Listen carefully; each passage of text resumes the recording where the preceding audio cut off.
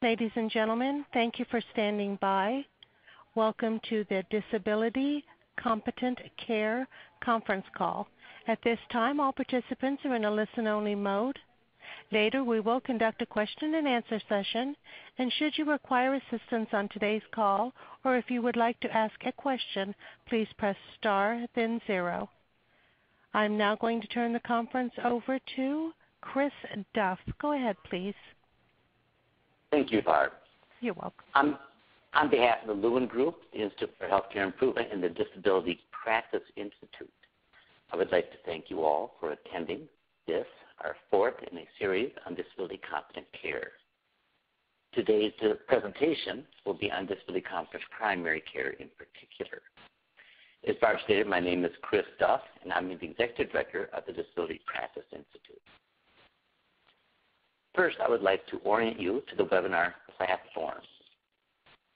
If at any time your slides are not advancing, please push F5 on your computer, and that should get the slides moving again. At the bottom of your screen, we have circled two icons that you can see on this slide here. The one on the right is for you to be able to print out the PDF slides for the presentation. You can have that during this presentation, or you can save it for use afterwards. The other one circled, the red one on the left at the bottom of the screen, is for questions. So if at any time during the presentation you have a question, please push this icon and type in your question. If it is about the technology, someone behind the scenes will respond to your question in real time. If you have a question about the presentation and would like to pose it to the presenters, we will be compiling these throughout the webinar and will return to them during the Q&A. This, As I said, this is the fourth in a series of nine webinars being presented throughout this fall. The previous three focused on, first, understanding the model of disability competent care and its key components. The second one focused on understanding the perspective of persons with disabilities as they experience the healthcare delivery system. And the third was on providing care coordination for adults with disabilities. A link to all three of these presentations, including the sound to go along with these PowerPoint slides, is available on our website at the address given at the bottom of each of these pages. Today, we're focusing on primary care, and in subsequent weeks, we will focus on the interdisciplinary care team working with an individualized plan of care. That will be next week. The following week, we'll be focusing on managing transitions. And on November 12th, the focus will be on coordinating flexible long-term services and support. We will conclude the series in early December with presentations on building a disability competent provider network, and finally, participant and provider readiness. Each presentation will be 40 minutes in length, with 15 minutes reserved for Q&A at the end. As I said, all webinars are recorded, and the presentations, recordings, and PDF slides will be available within a few days at the link on this slide. We will send everyone who has signed up for this presentation and has joined us an email when this actual presentation has been posted. We will also keep you informed of future webinars and products being produced through this initiative. I would now like to step back just a moment to give you the genesis of this series and several other tools for integrating healthcare services for dual-eligible populations. The Lewin Group, along with the Institute for Healthcare Improvement in Cambridge, has a contract with the Medicare and Medicaid Coordination Office at the Centers for Medicare and Medicaid Services to provide tools and technical assistance to providers that are seeking to integrate and better provide care for individuals who are eligible for both Medicare and Medicaid, commonly known as dual eligibles. As you are probably aware, CMS has been introducing several initiatives over the past couple of years to provide financial incentives for integrated care and to improve and streamline care for dual eligibles. are contracted to provide technical assistance to support those providers. Lewin and IHI have in turn partnered with the Disability Practice Institute to provide specific expertise in serving dual eligibles with disabilities, the majority of whom are under age 65. This takes us to the DCC Disability Competent Care webinar series and a presentation today. We would like this webinar series to address your needs and questions regarding the, the delivery of disability competent care, addressing where you and your organization are on the road to integration and care improvement. So please submit questions in writing, and we will additionally open up the phone lines at the end of the presentation for live questions.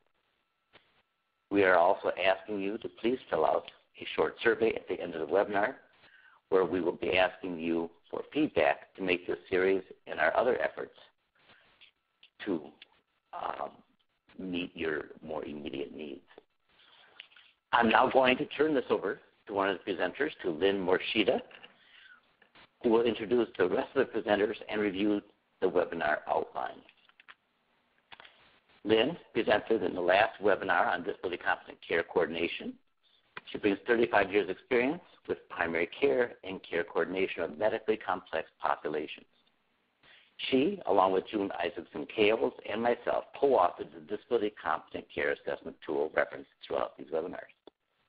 I'll now hand it over to Lynn. Thank you, Chris. Now I'm going to introduce the two speakers who are going to provide most of the content today.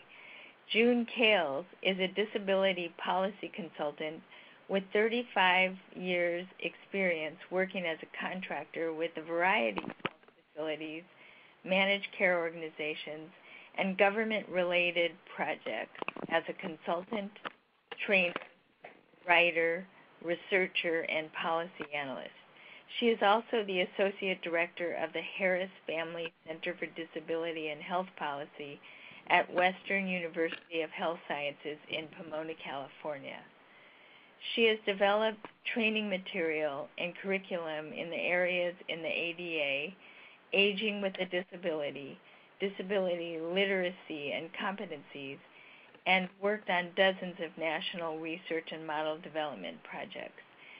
She also teaches disability competency in the health professions, which makes her a perfect speaker for this webinar. She has a Bachelor's of Arts in Psychology from Hofstra University and a Master's in Social Work from the University of Southern California. She's going to speak about lessons learned in obtaining primary care.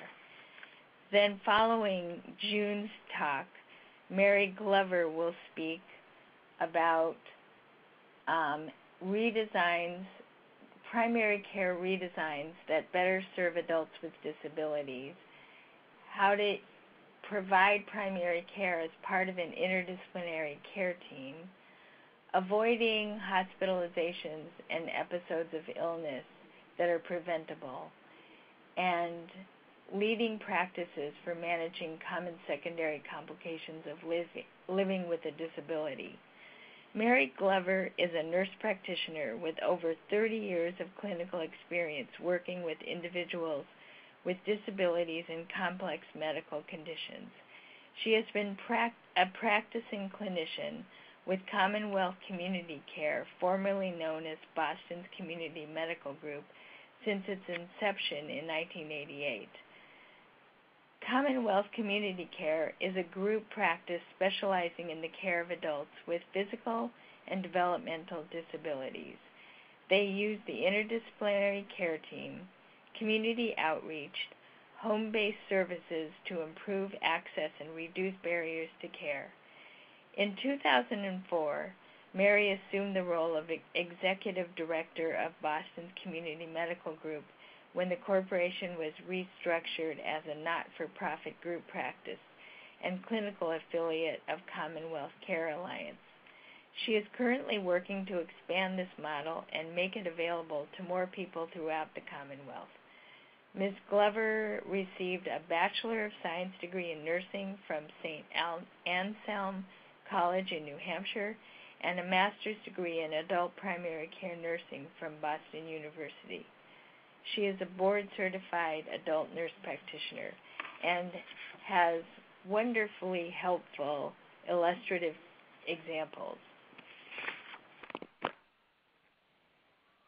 So now I'm going to hand the program over to June. Hi, thanks, Lynn. And hi, everyone. I'm speaking to you from kind of foggy, cloudy LA this morning. My disability is uh, cerebral palsy, which I've had since birth, and it affects my walking, my balance, and my coordination. As you can see from the slide, I'm a scooter user, and I've used the scooter for over 20 years. As Lynn said, I've actually held jobs besides being a contractor in aging, independent living, healthcare, mental health, and physical rehab, and worked with or in healthcare most of my life, which contributes to the values embedded in my belief system systems. And they include independent living, values that is not necessarily being able to do everything independently, but being in control of how things are done.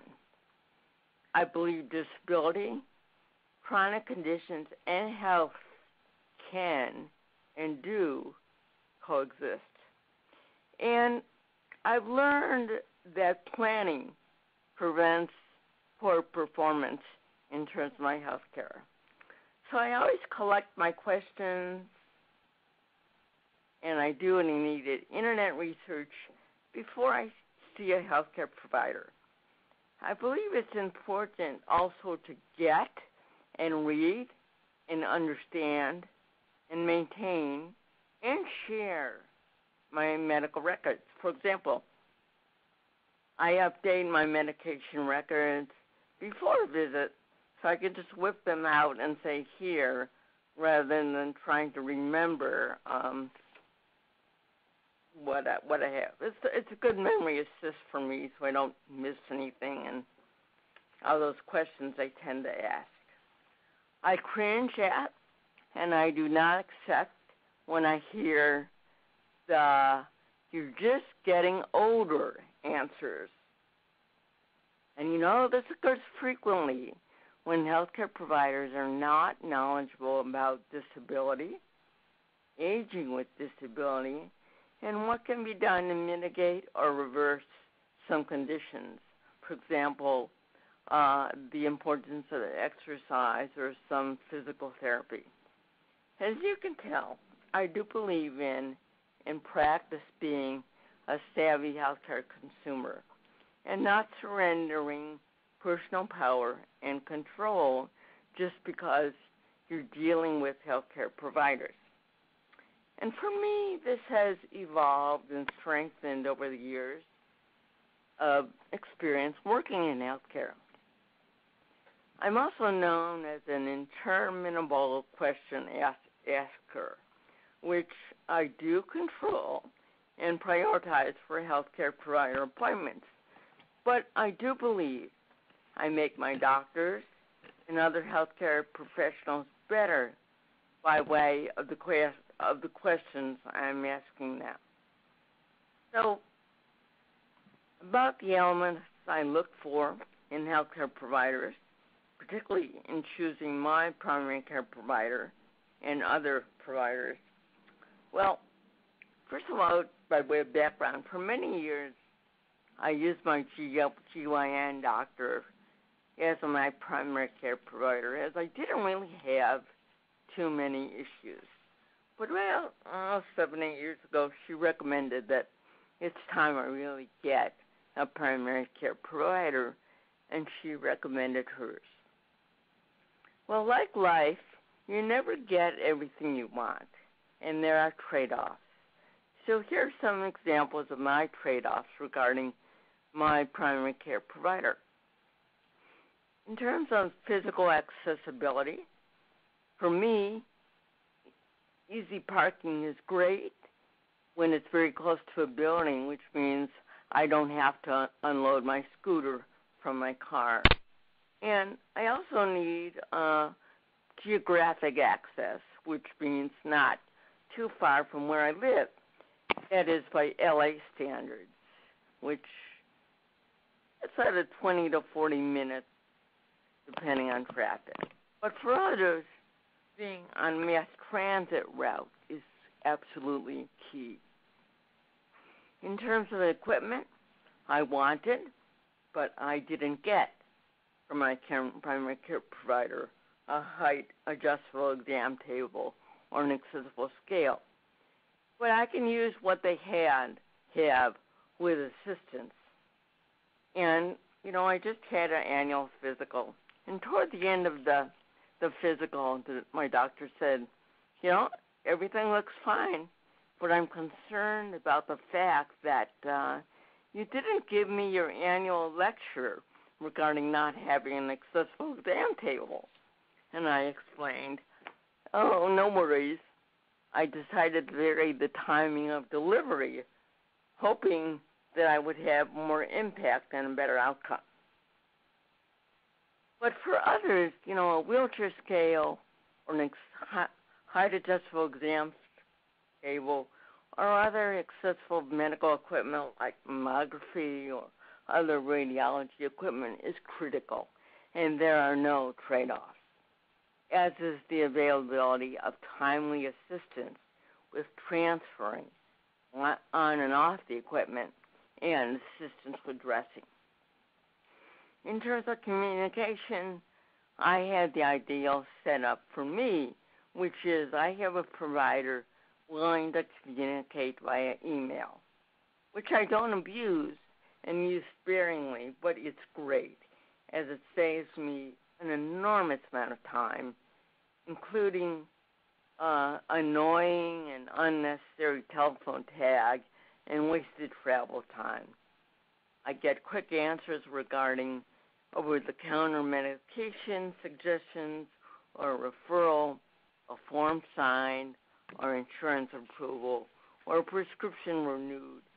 And I know I can communicate during my frequent periods of travel if the need arises. For others, in terms of communication, there are issues regarding longer appointments. If one uses an interpreter or assisted listening device or an augmented communication system, that all affects the length of the appointment, as does someone who has speech that is more difficult to understand. And also, potentially, time needed to maybe record follow up instructions on voicemail or smartphone for people who don't read or can't read. Regarding disability knowledge of my primary care provider, well, there really isn't any.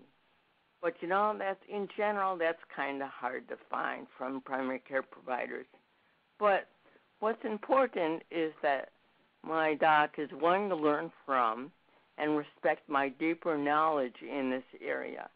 And he's willing to talk with other providers when needed or do some research. In terms of trust, if I need something in a letter or a form, I may fill it out, I may draft it, and he signs it. Again, respecting my knowledge and my skill sets.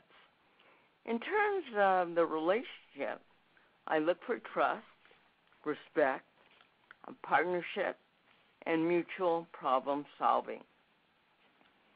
And of course, dealing with my personality, sometimes people call me Dr. Wannabe.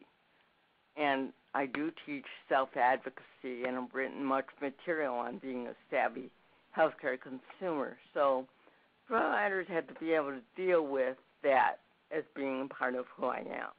And just by way of uh, a little humor to illustrate this to you, a surgeon once told me she was going to take my case to present at Grand Rounds because of its uniqueness. I said, Great idea. When? She said, You can't go to Grand Rounds. You're not an MD. I said, You mean major deity? Yes, I have one of those. Anyways, trust and consistency, I think, is key. When my husband, who has the same primary care provider, ran into a medical problem, I emailed my primary care provider late one night, and by 7 a.m. the next morning, he shows up at my husband's bedside in the hospital. Now, the value of that is almost priceless.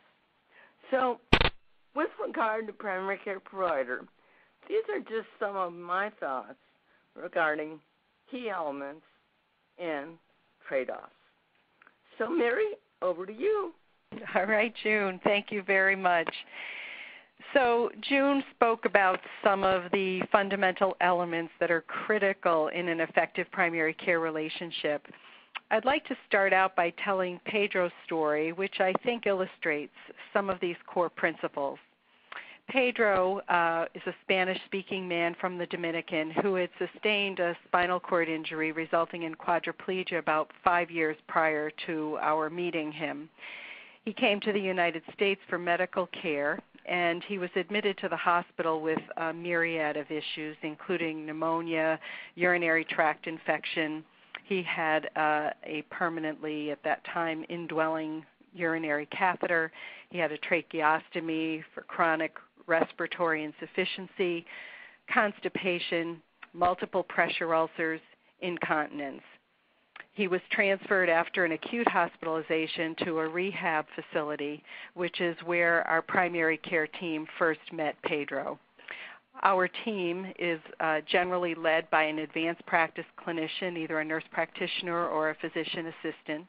And in this case, the physician assistant uh, met Pedro at the facility at that time, a discussion ensued about his goals. He identified that his short term goal was to increase his independence with self care and transfers, and he wanted to be able to wear sneakers again, which had become impossible because of lower extremity spasticity.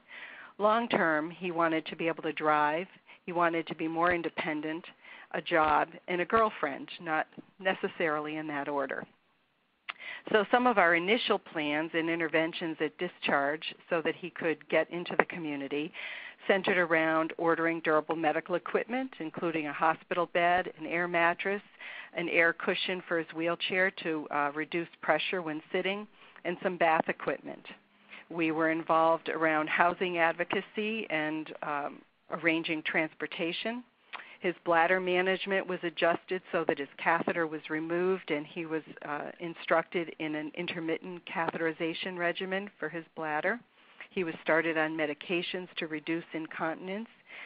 His bowel program was uh, a bowel program was developed, and he was taught various strategies and techniques for managing his respiratory condition and managing his secretions at that time, he was referred for some home health follow up, uh, particularly around wound management.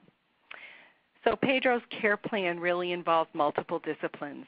Medically, uh, the primary care team made home visits, followed up on his bowel and bladder program and respiratory status, provided uh, wound follow up and assessment, and coordinated all services such as the home health services specialist, obtained labs, updated immunizations since no records were available and the history was unknown. We managed multiple episodic um, episodes of uh, urinary tract infections, changes in his skin, and respiratory exacerbations.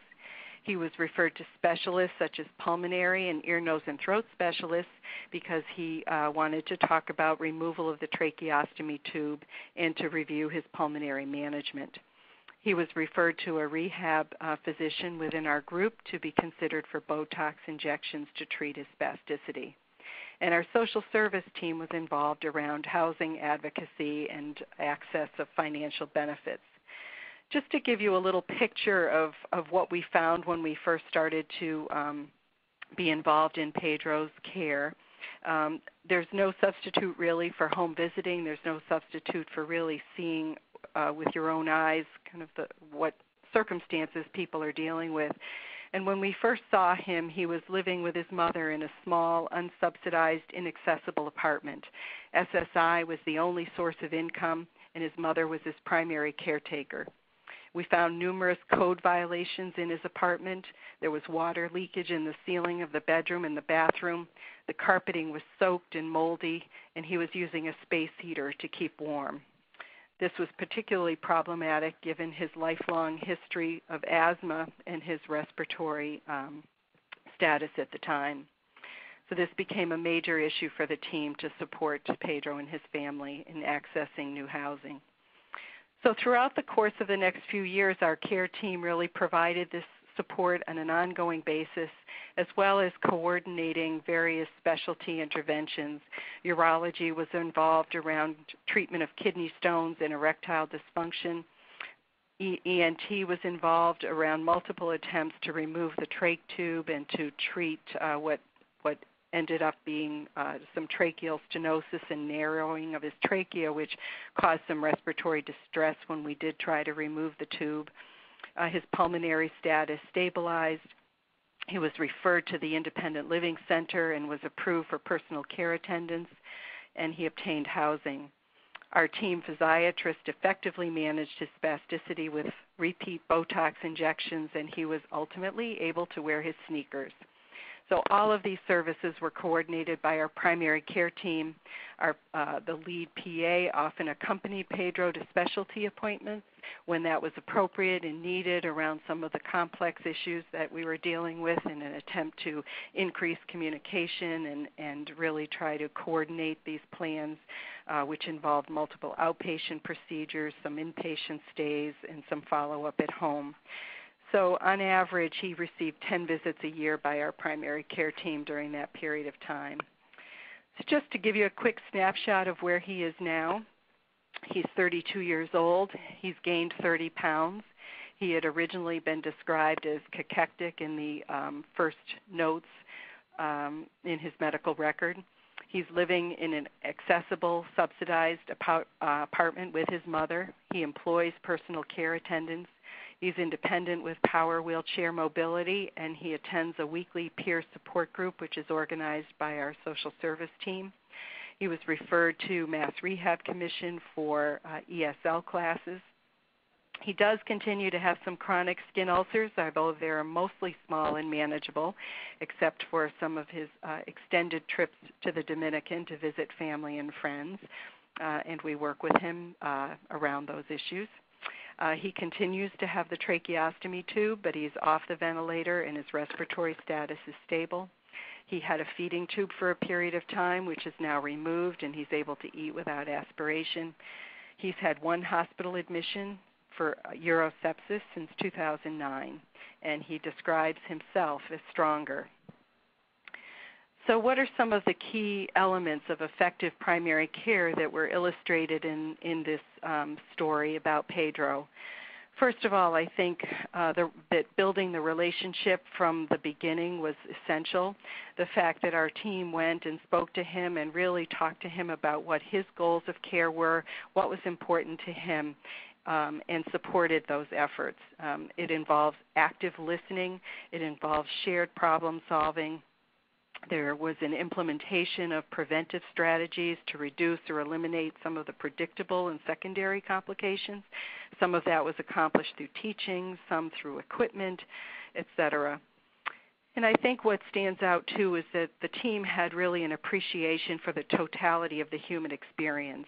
That the that the care plan really did not focus on the disability. It did not focus exclusively on medical or health related issues, but there was an appreciation of the importance of the context of psychosocial, sexual, vocational goals and concerns that he had.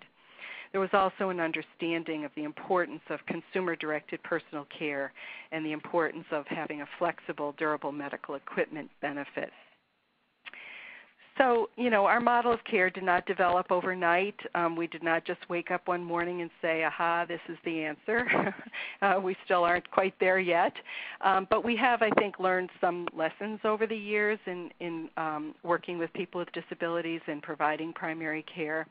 And I think we've learned that it takes a team. It takes an interdisciplinary team. It takes people coming from different perspectives and different skill sets and coming together to work together towards common goals. It takes community outreach and integration of services, a person centered approach to partnership, a relationship again that's built on strong listening skills and active listening and shared decision making, a partnership It also involves integration of hospital care and primary care teams to improve transitions of care when people do require hospitalization or other clinical settings. There also needs to be an emphasis on long term services and supports, including and very importantly, consumer directed personal care and a flexible, durable medical equipment benefit. I think Pedro's story illustrates uh, some of the key disciplines involved in the care team. I'd like to add one actually to this list, one that I um, haven't included before, and I probably should, is I think the health plan is an important part of the care team. I think without the financial support and the recognition of the importance of primary care investment, without the ability of the clinical team to uh, access flexible benefit plan, I think um, I think these are important uh, tools for the team to have access to in order to be able to facilitate appropriate primary care.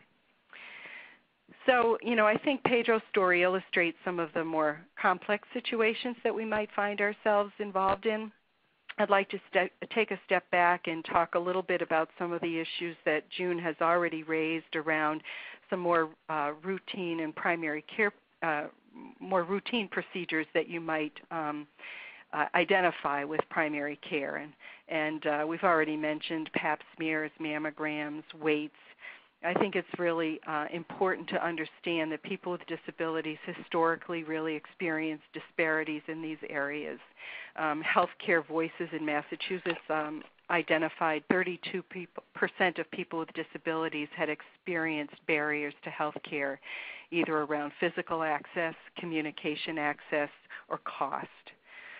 The, the uh, Disability Policy Consortium in Massachusetts has identified several areas where people with disabilities uh, do not experience the same health care that people without disabilities experience.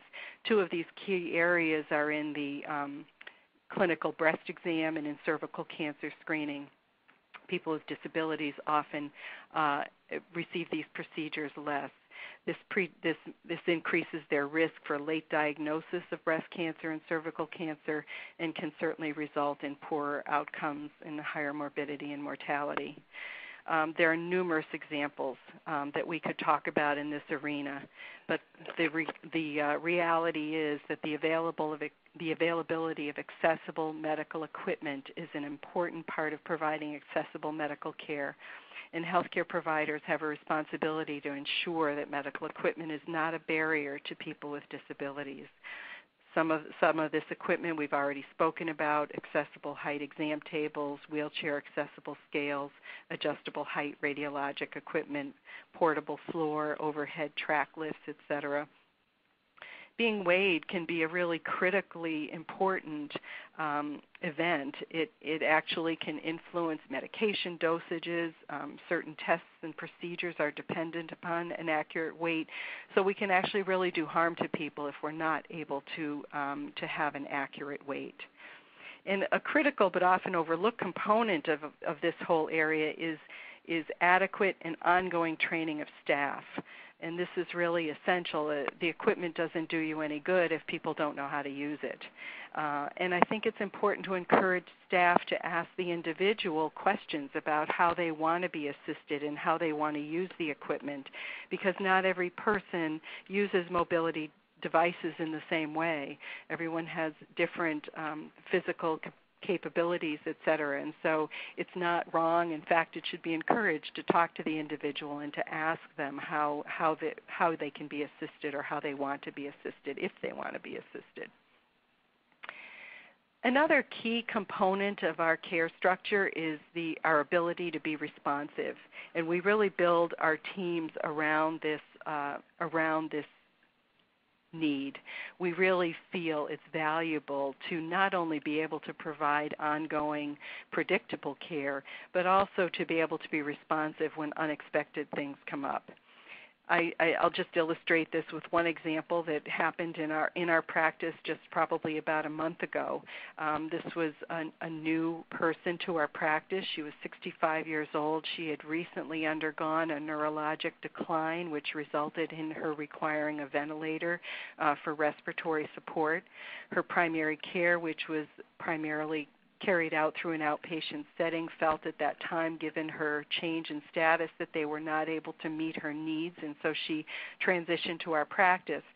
Shortly after an extended hospital stay, followed by a rehab stay, she was in the community, and her family called our office to say that her oxygen levels were low you know the the average primary care response in those situations might be to send her back to the hospital or have her at least come to the emergency room for evaluation. However this woman really wanted to stay home. She was not in any distress. She had kind of had it had it with hospitalization and so she um really did not want that. Our nurse practitioner was able to go out to the home and make an urgent um, home visit. She was able to stabilize her status with suctioning and ambu bag breathing and was able to consult with the physician over the phone for ongoing plan of care coordinate with the respiratory company to obtain some additional supplies and equipment that could be used in the home to help uh, this individual manage her respiratory status. Her caretakers, family, etc., were taught um, how to utilize this equipment, and we were able to coordinate with social services around accessing increased personal care at home. So this is just one example, but you know we have many examples where you know our ability to really just get out there and see people um, can really avoid emergency rooms and hospitalizations. And um, we were able to avoid it in this situation. That was several weeks ago and she has not been back to the hospital since. So um, it was a successful strategy and I think it's empowering to people to be to to be able to take charge and really manage their issues and not um, feel like they're reliant on the hospital at all times. Another strategy that we have initiated is a designated inpatient unit. Um, that's pretty self explanatory. We have a designated hospital unit where all of our folks go. It allows us to build relationships with staff, it allows us to have daily communication and good coordination of transitions. But one of the newest um, issues here that we are working on is the integration of personal care attendants into the hospital team.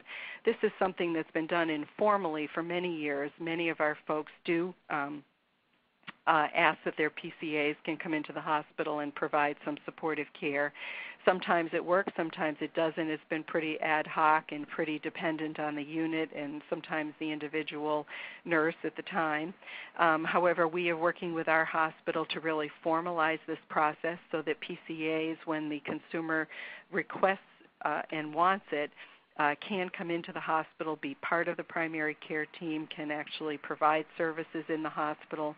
We think that this could really um, improve um, improve satisfaction with care in the hospital. It can reduce some strain on hospital resources. We're hoping that it will uh, reduce lengths of stay and allow people to transition in and out of the hospital more smoothly and less traumatically. And most importantly, provide increased autonomy and independence to the individual to really um, to be able to have um, the same care that they receive at home in the hospital despite how well trained hospital staff is, there is no substitute really for the individualized care that a PCA provides under the direct supervision of the consumer. PCAs get to learn individually how people like to be positioned, how they like to transfer, how they like to be suctioned, etc. And you know, there's there's really no substitute for that kind of individualized um, care structure.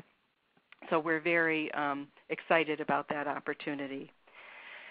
So, just to summarize, um, yes, there are some problems, there are some challenges in primary care, but I think there are also opportunities. And I think we've talked about a few approaches um, that we've taken um, to try to um, improve primary care and improve access to primary care. And just to quickly summarize, we've talked about a team approach, an interdisciplinary team 24 7 access by the primary care team, and I think that's critical. We don't, um, you know, um, send that out to some anonymous call service. It's our team that takes those calls. We have the capacity for home visits and transferring clinical decision making into the home, meaningful consumer involvement in the care plan design and development and organizing hospital and specialty services in close collaboration with the primary care team and fully integrated, um, along with a fully integrated electronic medical record for communication and data support. And these are things that we are working working on diligently as we speak. So um, I think I'll just end there and I guess open it up to questions.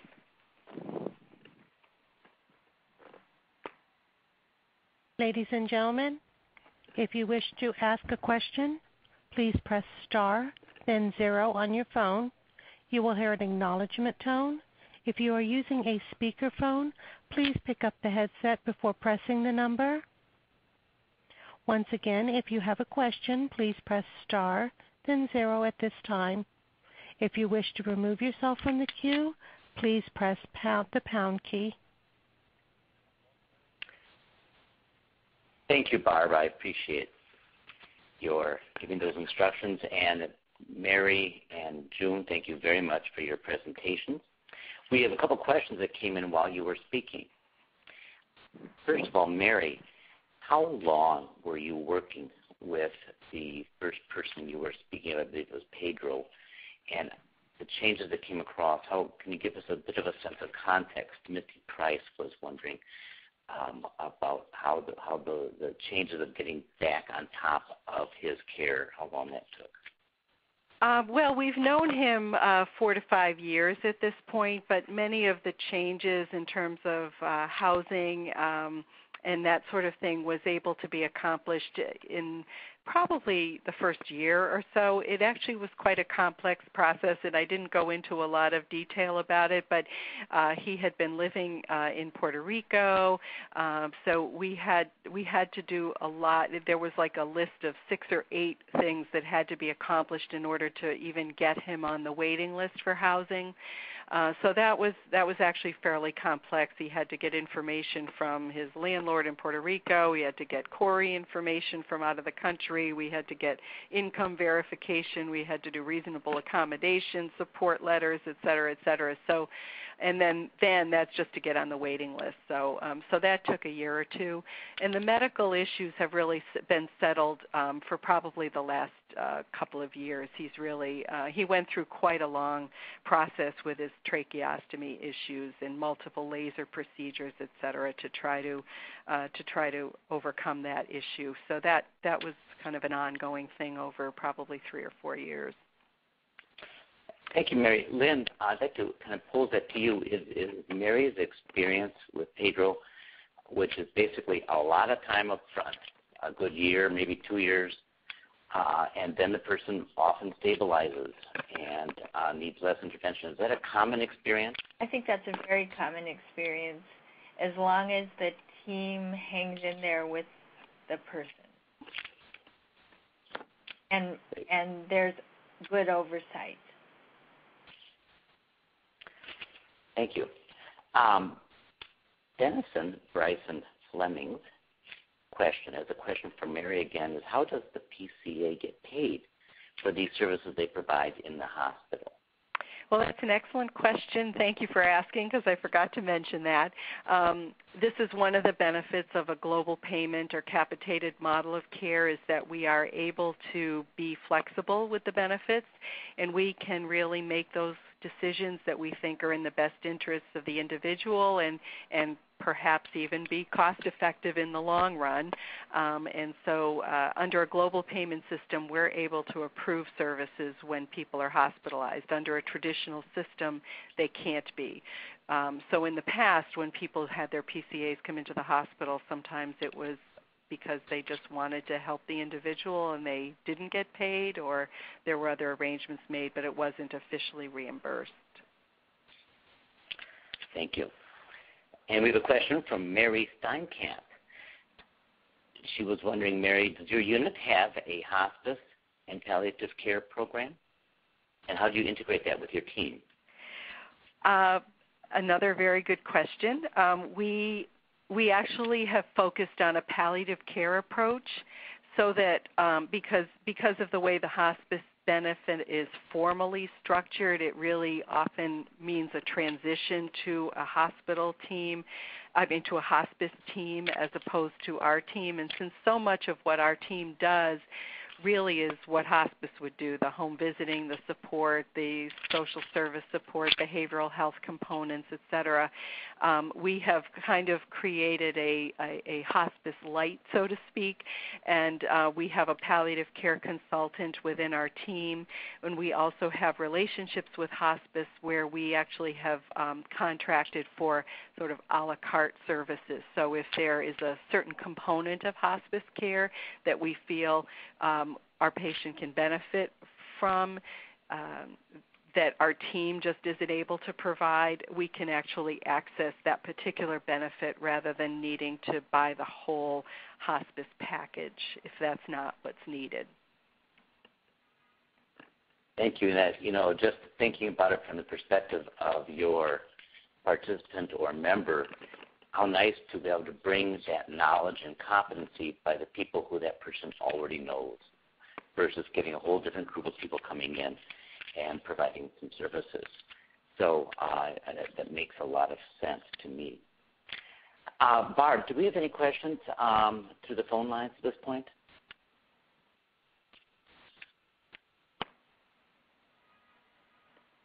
All right, and our first question does come from Melissa Miller. Please go ahead. Yes, I'm Melissa Miller, and I wanted to know how the physician gets reimbursed for the added time that's necessary to address all the psychosocial issues and the uh, complex care needs of, of social uh, and support services of disabled patients, and added visits that may be necessary 10 visits rather than the usual four per year. Um, how doctors will be incented to spend the added added time that's likely necessary for such complex care needs.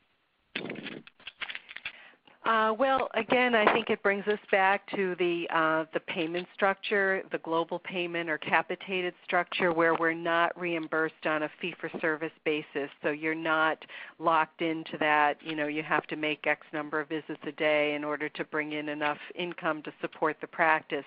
We have the luxury and the the great benefit of being able to really um, address people's needs individually. And if it's 10 visits a year, if it's two visits a year, if it's an hour long visit, or if it's a 15 minute visit, we, we can actually um, do what makes the most sense for that individual. And sometimes, you know, a longer visit um, actually ends up being more effective and more efficient in the long run but you have to take the long view of this you know and i think that's what's hard sometimes for people and for insurances and for the people responsible for the financing because because it is an investment and it's an investment somewhat on faith that if you really invest the financing in upfront into a really robust primary care system that you will in the long run reduce complications re- reduce hospitalizations reduce expensive modes of care and invest it not just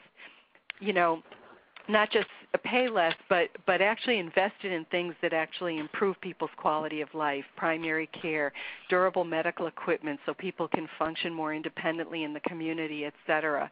And and you know, so that's really the the benefit of a global payment structure. I, I also think that I think that's a question I hear from a lot of plans, and I want to just share a few other things that have worked and and have not worked. Uh, an example of something that hasn't worked in Minnesota um, several years ago, uh, we established a plan where we worked with the clinics and we actually provided the clinics a $20 PM PM for all the members who were assigned to that clinic.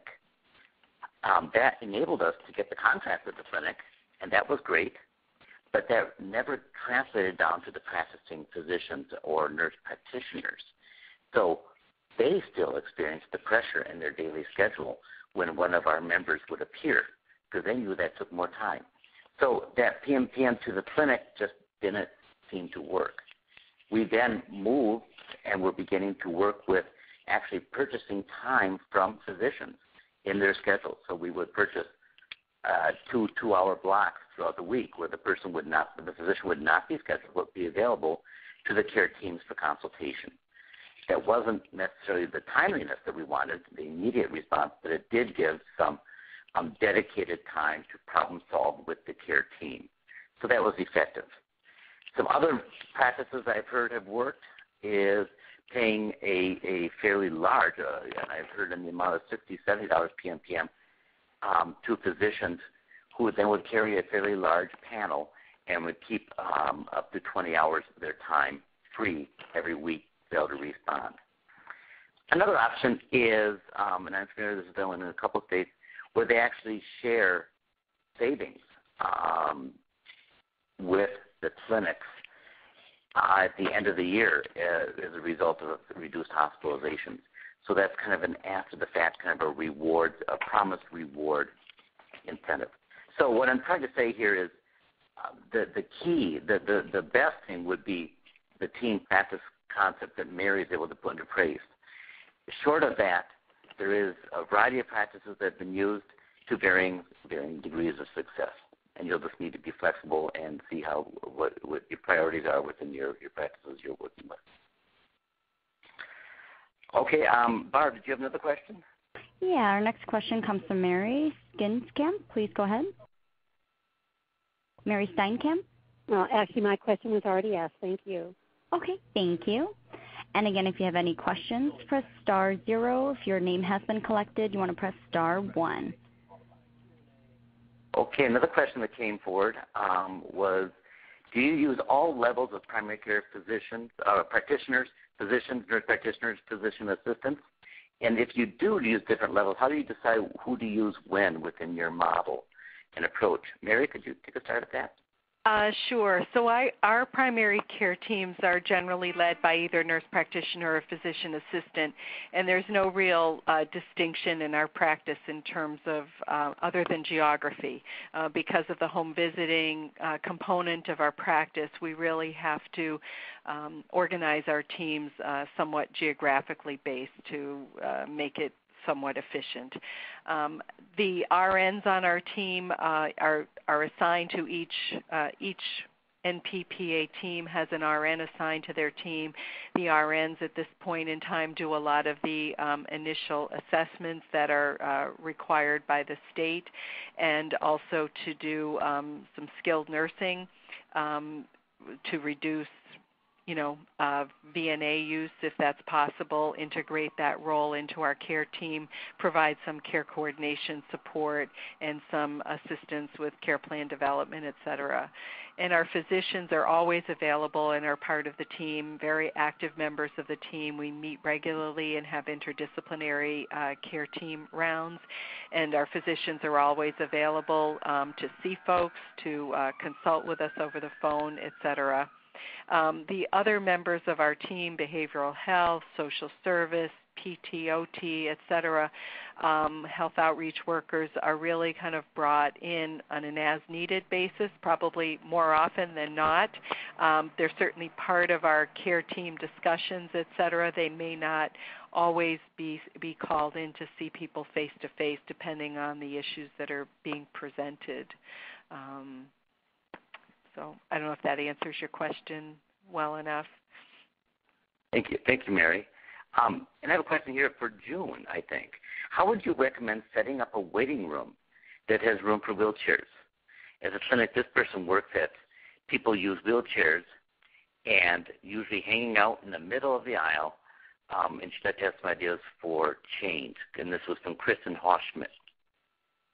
Yes, uh, Chris, good question. I think that uh, waiting room access should be part of the way we look at accessibility. If it's a small waiting room, at least at least one space for wheelchair user, so they don't feel like they're, they're on display waiting in the middle of the of the room. If they can even get to the middle of the room, attention to aisle width is also important, as is attention to um, reach ranges in terms of being able to reach uh, public education material and brochures and that kind of thing.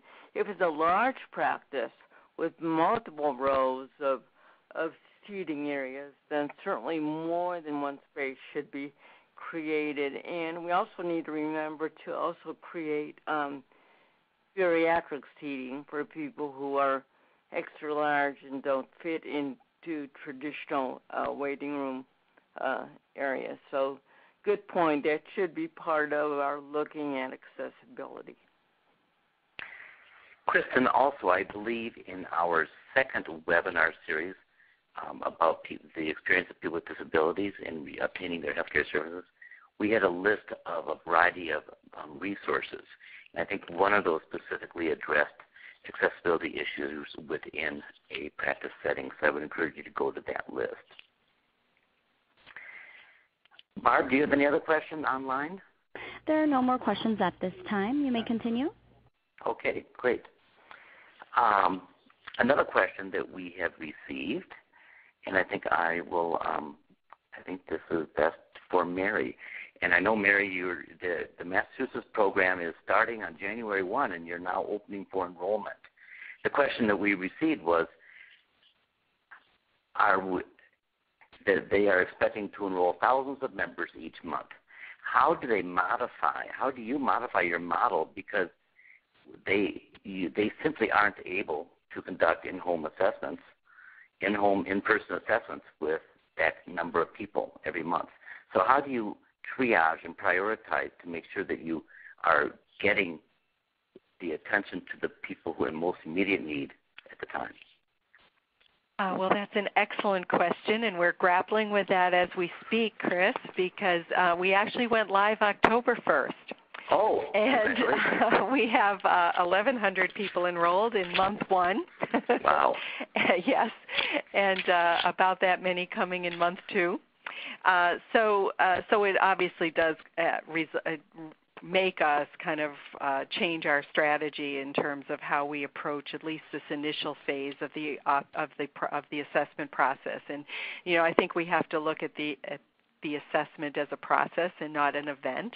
And it actually has to take various forms. And so our initial um, outreach is really through our member services to, to do a phone outreach, a welcome call.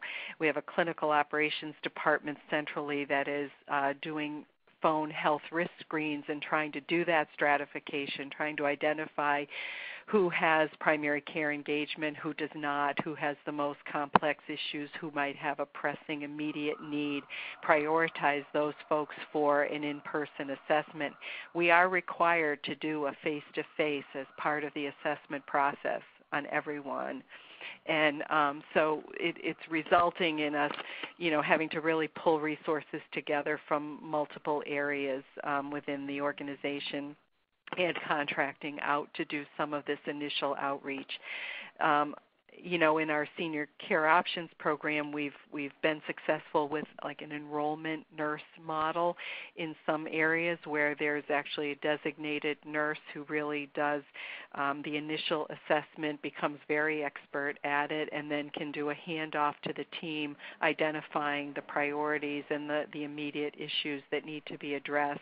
Then the primary care team can kind of take it from there and start to to go through the process um, with the individual. Um, but you know, it certainly does present logistical challenges, and we um, we weren't quite sure what to expect in terms of enrollment, but it is it is pretty robust. So um, we're we're looking for strategies on how to deal with that. I think that's that's a great way to end up. I think what we're really saying throughout this this presentation, as well as all the webinars we've been doing, is this is all a work in progress and everyone um, needs to just simply step back and think about what will work in your context. We're just merely trying to present what we've developed in some of the, the programs that have been out there in the past. So I'm going to wrap it up at this point. We've reached the end of our time today. As I indicated at the beginning, we have five more webinars over the next two months. Everyone who signed up for a previous webinar, as well as for this one, will receive notice of all future webinars. I would also like to say there were several questions received that we were not able to answer, and we will make sure that they are answered offline by the presenters. I would again like to thank the speakers for their presentation today, and I would like to ask that all of the participants take a minute or two and go to the participant survey that we have um, in the presentation deck and um, so that we can learn from your experience and get your ideas for the future. Please join us next week for the next presentation, which will be on working with working as an interdisciplinary care team to develop an individualized plan of care. Thank you, everyone. We appreciate your attending. Back to you, Barb. Ladies and gentlemen, that does conclude your conference for today. Thank you for your participation and for using AT&T Executive Teleconference Services. You may now disconnect.